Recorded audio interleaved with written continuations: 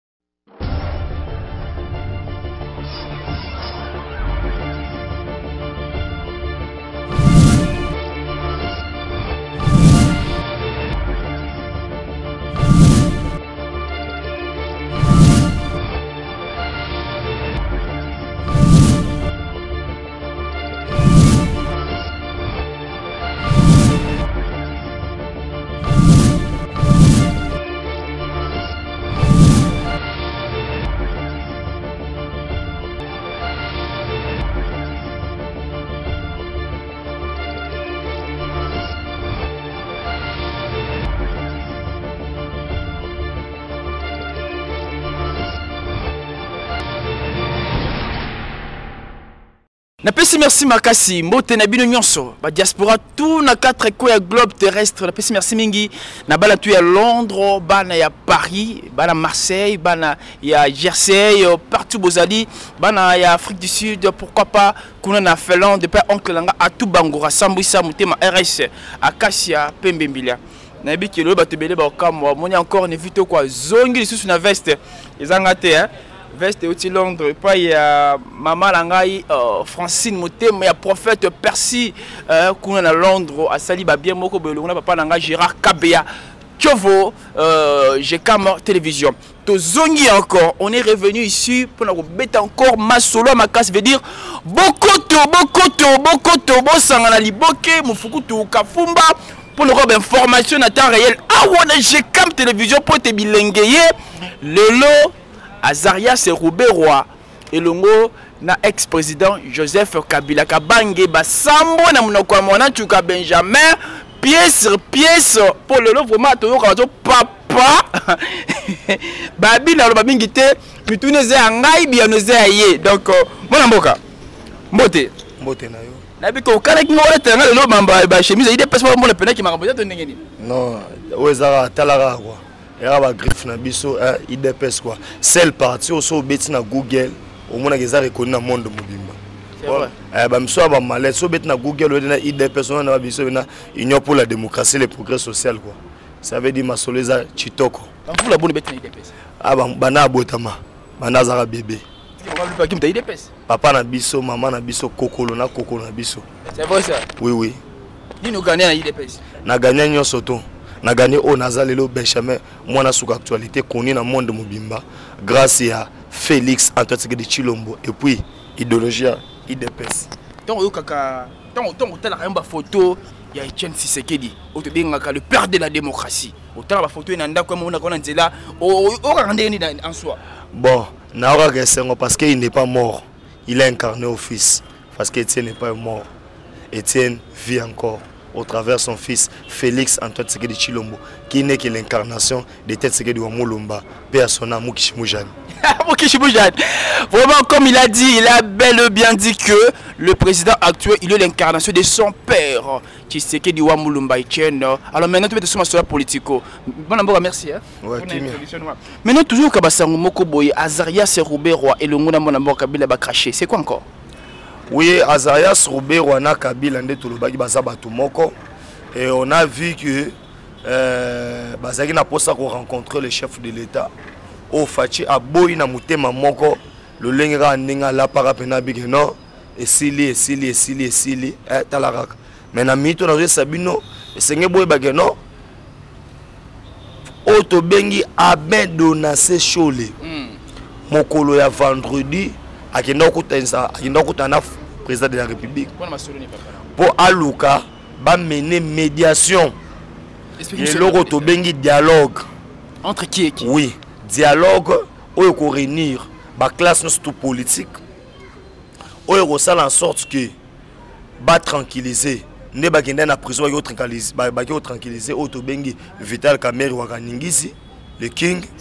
eza kuba mote sikoyo il a fallu sikoyo bakende bakutana na chef de l'état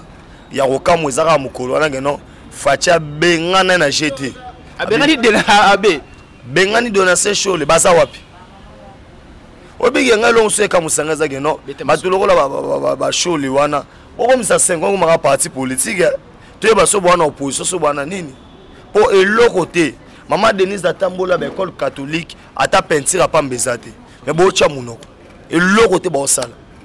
ozo comprendre ça veut dire yango toluka toyeba ke non soit bakotana baokana nini na mambo ya politike bakotana mambo ya politike nde toyesai bino ke non boyoka na bino soni te mabuka na daya aya eh, bien shole osali bena 5 wana ekomi eh, confession nini boa politique toyebi bino so boza na opposition to nini mpo shema bolinga boya na faci aboya yango shema libanga baya nango oui shema na bango eza shema ya dialogue pour sauver l'intérêt de joseph kabila na angle nini oui parce que hippolyte kanambe kazembere wana hippolyte kanambe kazembere nani onayebi ye te kasi oyo bino obenga joseph kabila ah, de son vrai nom hippolyte kanambe kazembere christopher mutuale tobandela opaka tobandela moloko wana bana londe bayoki ah oui hippolyte kanambe kazembere christopher mutuale nde kombo na ye e oyo tobenga janel kabila oyo aza kaka eh, nani eh, tata mwasi na ye aza ah yaya lipasa mokolo ya mwana moke na mokolo bongo bazalaka ata yo moko mama moko yo soki mwana lipasa lipasa na lipasa mosusu différence ya 9 ans ezalaka te oyebi aujourd'hui on doit pas il faut pas base moke na biso on n'est pas des bêtes obele na panza teke parce que c'est nos pièces contre pièces donc ba Benjamin moi na suka actualité banga ba sente baboto la pièce même ko l'idéologie ebani quoi pièce contre pièce Benjamin moi na suka actualité mingi mingi bakoto quoi bola nanga lo na ko senga bino bo s'abonner massivement Bo s'abonner massivement, massivement. Nabi que non, Londres na mito, boza otombo ya lobo bokangi base. Po Benjamin mona suka actualité na koti makambo ngo quoi. Ça veut makambo zo kende tellement kitoko. Mais awa na zo ebisa yo sengelo yeba boni. Oyo to bengi na kombo ya euh, ya ya ya Donace Shole ayaki net sa beta mo bazisani banini mais eh babengana ye mbwa ko to akosa. C'est vraiment projet de bango vraiment obeleki pena pona ko solola na président derby Fatshi Beto ezaki nini? mais idéologie ezali boye ezalaki bakende na dialogue dialogue eza mpona kopermettre basauve hippolyte kanambe kazembere parce que un pas vers la cpi soki oyebi te hippolyte kanambe kazembere andobimisa mbongo na motuya ya 3 millions de dollars chaque fin du mois andopesa fatou bensuka oyo azali procureur général ya cpi mpo akende cpi te okosirapeleke na congo awa oyo tobengi michel brachelet oyo azali numéro 1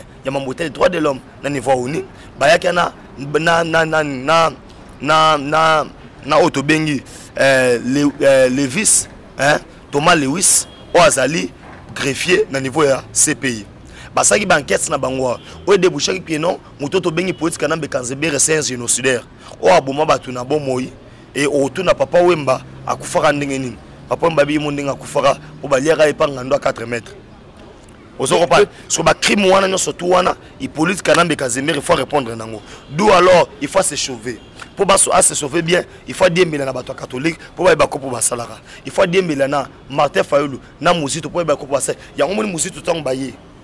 babandi makambo oyo fcc anolela ono bajuge boye oyo banini boye oyo banini boye mpo baza eloko moko d'où alors il faut oluka kosala eloko moko boye oyo kamere moya mpo ata basecret ezali parce que kamere aza basecret nyonso to oyo batindaki ya mwa bato na niveau ya présidence ya république batindaki asala mabe d'où alors il faut tosala nini kamera alobaki ke non awa nga mpe libeba libeba mpo jamal abebisi masolo kuna jamal alobi 20 ans nakokoka te nakufi na kosala su 20 ans nalifelo ata yo moko esimba te d'où alors fo na sanza tomoni kaka kamera otangi nkomboni a ah, ye mpe kuna akobisa te eza bien te babibisi na prison eza nano na centre eh, yaya na ngai nabosana natomboli mabongo na ngai kolo yesu batela kamere place azali liwa ekoma te akufa te kamere azala na bomoi na komona yesu kristu amen tokontinue émission nasambeli mpo na ye ti ada ye te nayebi soki no tout ezotourne sérieux oza kopanda ngai omoni pièce contre pièce kamere na babaki tobisa bapièce ngai kasa na deuxième audience oyo bato ya inc banga batya lolendo obisa bapièce oza kopanda bakosela mokolo likambo te yebaka mpe keno nzeta te omelama nde ekoma ngando te wana fo yeba idéologie nzeta te omena mai nde ekoma ngando te benjamin mwana suka actualité naseno pièce contre pièce kamera akobimisa yango te aya ekomi nge non chef d'état yokelanga mawa chef d'état na makambo oyo eh? justice indépendant toki oyebi bien que euh, euh, euh, cpi kabila bandi kopesa bambongo mpo ete bagarde ce que fantu bensunde apaza corrupteur aza moto bacorwala yango omoni etasi nabengaki na etasi nabeti egogo na mito sikoyo nde eza bolibeba libeba nayesi bino kinyoka par rencontre entre félix to te chilombo na oyo tobengi police kanambe kazemberi mpo faci akebisi tous les deux pays angola na brazzaville abetaki yango ya shoma vendredi show papapap angola abina bango nini abendi bango matoyi mpo ayokaki ke no nyama mandefu wana epoliti kanambe kazembere angaki banene bangola bashadari bakutani na oyo bakutani na yo na nzela ozokopa awa nayebi biso enga boma directeur denis mukwege oyebi mpo ya nini oyebana nga boma mokweti ah, soko mibeta lisolo nango oyaki nango na émission te wana atiki na ngas mais tuna eza yo mwana mboka euh, benjamin pièce sur pièce bokombokomate soki apesa sentiment te soki onopa na yo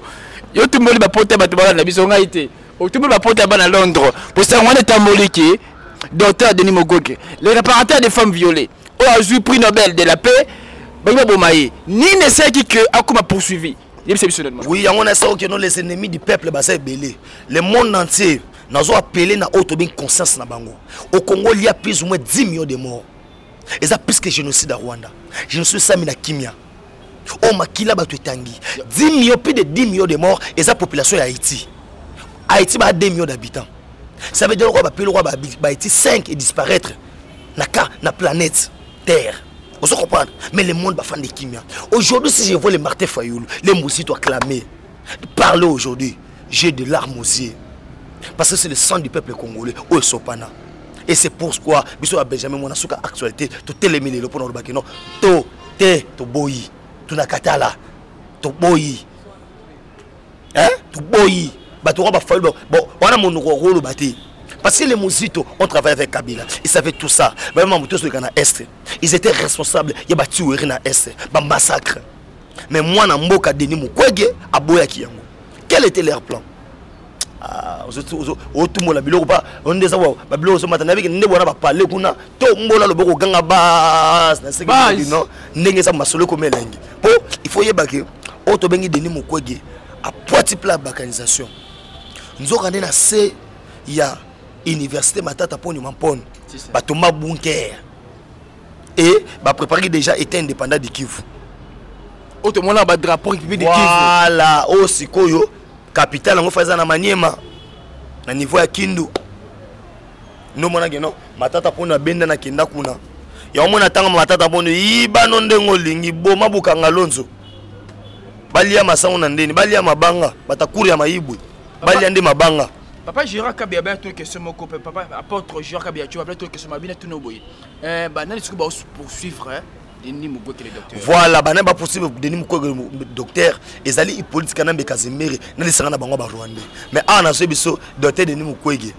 makasi oyo wapi 14 shikata bapesi ye eh? basodo bauti oyo oh, ti chine kakaka yo meka sikoyo mokama te obeka bango bashikata eh, wana bashikata te eh, shikata eloko mabe shikata eh, yaya tika tika otala mpenange no soda mpe naliaka trois soso par jour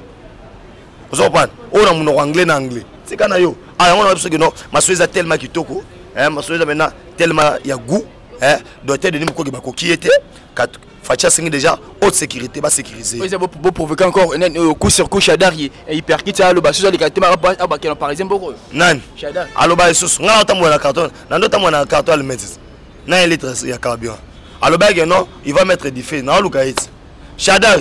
koto ozali yaka naoluka yo oyo azwa alimete na personne otumba soki okoka tala eza biloko mosusu basala blage te faci aza beton aza beton aza danger aza danger ozo comprendre taba faci aza danger aza danger ocomprendre ke maloba na biso nganga maloba etiesekedi nganga idps na pouvoir il n'y aura pas d'opposition tout le monde baloka balanda bamolanda yo moteke non baoyo bayaki wana eh. fayulu bakanga ese munoko pa champion ya bemba abe tika tika tika distraction ozo comprendre tika distraction donc kuna euh, ex gouverneur ya kasai oriental ngoi kasanja oyebi kiyaki bakubo bozo monte compte contre mwana christel kasanja ah mais neti neti ngoi kasanja wana eza mambo oloba te hein soki mwana amoni mutakala tata na ye babengaka yango abomination na français babengaka yango aza modi na bible babengaka yango komi kiwelewele na swahili babengaka yango komi asali chibindi chibau ozo kopanda sili oyebisanga sikoyo mwana mpena mwana mpena no amona yoyo ya papa na ye talaka ata yo moko eh? siko mwana bongo mpena eloni ya malamu okobima na kati na ye cetadire wana so bakosela ye omwa siko awa ke yaya mituki simbe ebimi na ndako ya yango ekasanje mituki simbi ko tala tete akisimbi abimi kuna bampuku eye olandi te gabriel mokia oza video wana te naotindo baimage na suka bobalansi lango balandi na biso papa na ngai bamatiti ye banini yaya kisi mpe polaka nganga mpe akufaka eloko to ezalaka na suka nango mpo nazwa anonse bino déjà ke non le 5 oyo naa na mbujimai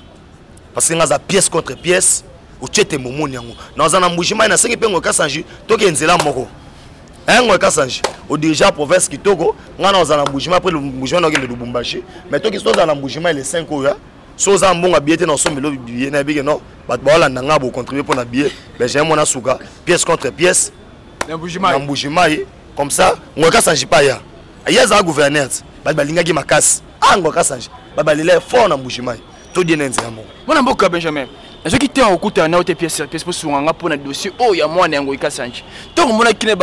batelefone ya baetandokie mwana yango ikasanji christelle ngoi azosala bainsu devant le la première dame denise niagiro tshisekedi ntango oyokaki yango take mwana mboka pièce sur pièce emataki yo mafuta oregisaki ndenge nini oui na regisaki lokwa ye te parce que ye aza mal éduqué aza impoli ah, niveau mpe detide ya moke eh. ozo comprendre eh, so nakomi eza lokola monga na osokola mai moto aliboma yo ibanga bilamba ngo so na bandi kona bimi na yoshe bandi olanda naye moto aliboma sai na comprena ye dayeke no niveau na ye na comprena mpe malédiction elanda yo mais nameka nde korecadre ke no eh, aza na éducation de base te parce que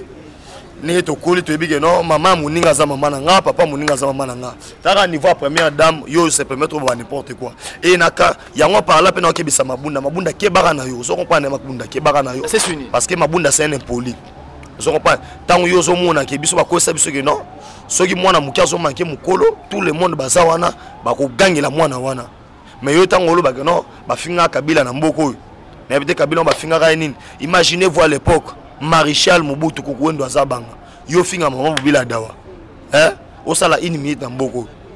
eh? omona yo moko eh, je pense bato abotama asira baomona daya no baomona daya mamona oloba que non à l'époque yo finga maréchal nayebi te soki ngo suka wapi mais lelo état de droit eza nango permis oloba no ba n'importe quoi mais je suis très content ndenge ajisasa ye mosala na ye abombi place abombi wana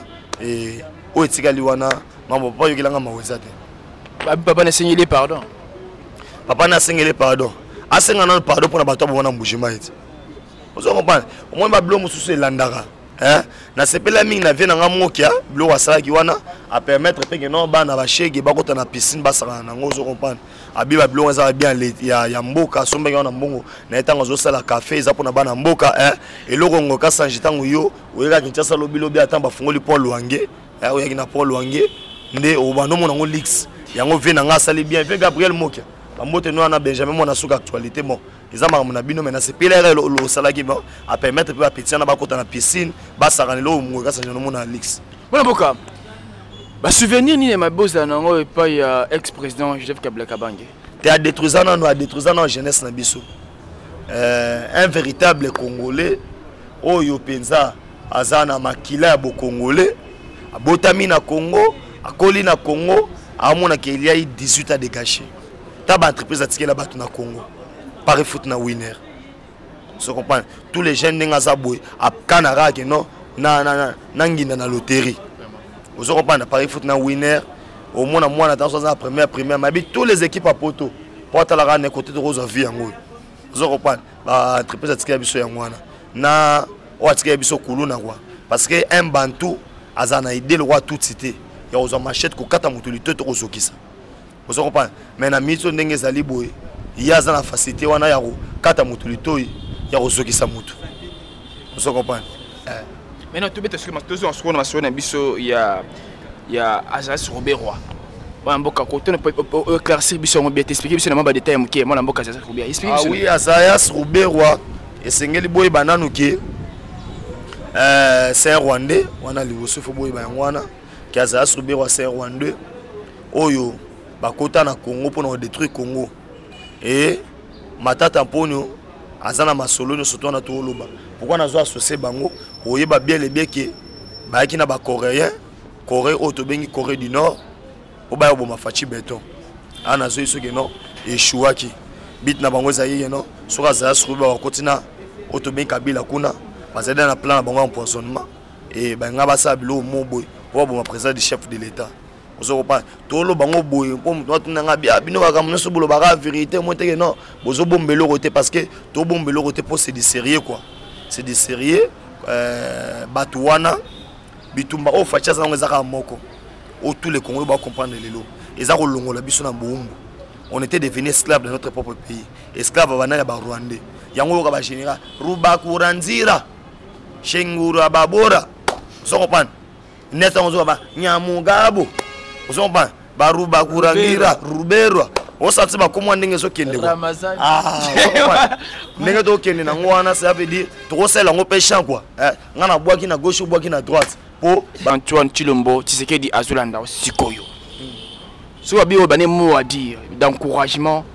epuis ya kocontinue nzela oloba na yende ah oui nde tolobaki kaka nasengaki bana nyonso to chemise na lati tobengaka faci beton kua faci beton le roi sa majesté azala wana ti mokolo yesu akozonga kua mpo faci place oza na oyebi ke mokonzi ya mboka respect na yo eh, benjamin mwana suka onga bisankara faci oyo faci akoloba te ngai nakoloba yango oyo so oyo obungeli faci na 6 heures 6 heures une minute ngai na recadre nazongiso na nzela na yo nakolobaka ke eh, sa majesté le roi nayebi kozala wana ti mokolo yesu akozonga oyo aboya sa mokili na ye mpo mosala kitoko bandeko balandi napesi merci encore na mwana suka veronica meta na londres babi elamba nde nini elamba eza nango eloko te eza ya bino mwana ntuka yabengaka pièce sur pièce donc euh, papa ya bombaka te eza nde pièce tia bapièce na mabele toyambaki lelo abeti masolo bino boyoki wana mais bolingaka aloba mwa maloba soki esalaka bino malamu makasi mwana suka bazola nde suka maloba soki ezali bon maloba soki eza ete napesi mbote na bato nyonso to nabosani te ndeko na ngai euh, patrick nzomba mobali ya mama yuyu mpe tobosani te sponsor oyo tobengi présidence chikito mushashino président vieux bala musika tobosani te etienne kabongo deboulonnage deboulonne bango bushima ekananga e nayebi ke bozalaki ebele e mama yo moto olanda nga oyebi mama yanga motema na souhaite yo bon anniversaire quelque part na oyo tobengi united states of to america na isa e nakopesa numéro ya contact mpo na bozwa mpena pièce contre pièce actualité kosila te ti mokoyeso akozonga kua piste 243 9